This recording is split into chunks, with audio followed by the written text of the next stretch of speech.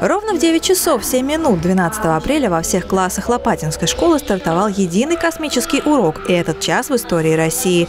Именно в это время, ровно 60 лет назад, с космодрома Байконур стартовал космический корабль «Восток» с Юрием Гагариным на борту. Школьники посмотрели премьеру фильма «Эра», снятого в рамках проекта Русского космического общества «Киноуроки». Причем помогли картине появиться на свет сами ребята был снят на средства, собранные школами России. Мы стали сопродюсерами этого фильма. Наши ребята собирали макулатуру вместе с учителями, с родителями. И вот эти средства э, стали, э, позволили снять этот фильм. Затем все желающие смогли посетить интерактивную космическую выставку, где ребята из Гагаринского отряда школы рассказали об истории космонавтики в России. 4 октября 1957 года на орбиту Земли.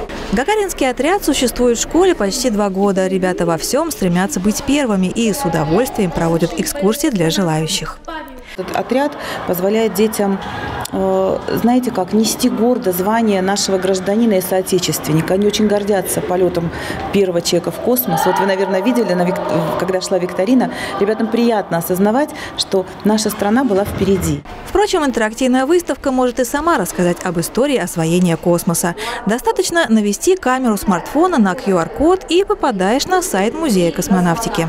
Ребятишкам очень интересно, особенно поучить взрослого, показать, как работает эта выставка, как подключить QR-код. Ну и, конечно, э, через э, вот эти технологии узнать важные вехи в истории нашей страны. Также в этот день в школьном центре цифрового образования ITQ прошла образовательная космическая викторина для десятых классов. Старшеклассники должны были быстро найти информацию в интернете, чтобы ответить на интересные и порой весьма сложные вопросы учителя. Цель игры – ознакомить учащихся с космической темой, то есть э, познакомить учащихся с темой космоса. Ну и мне понравилось, потому что мы выигрывали. Кроме того, в холле образовательного учреждения развернулась яркая выставка художественных работ учеников на космическую тему.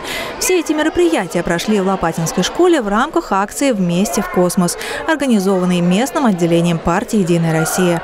В ближайшее время ребят также ждут интереснейшие встречи с космонавтами. Екатерина Борисова, Кирилл Иванов, Елена Кошлева. Видно этого.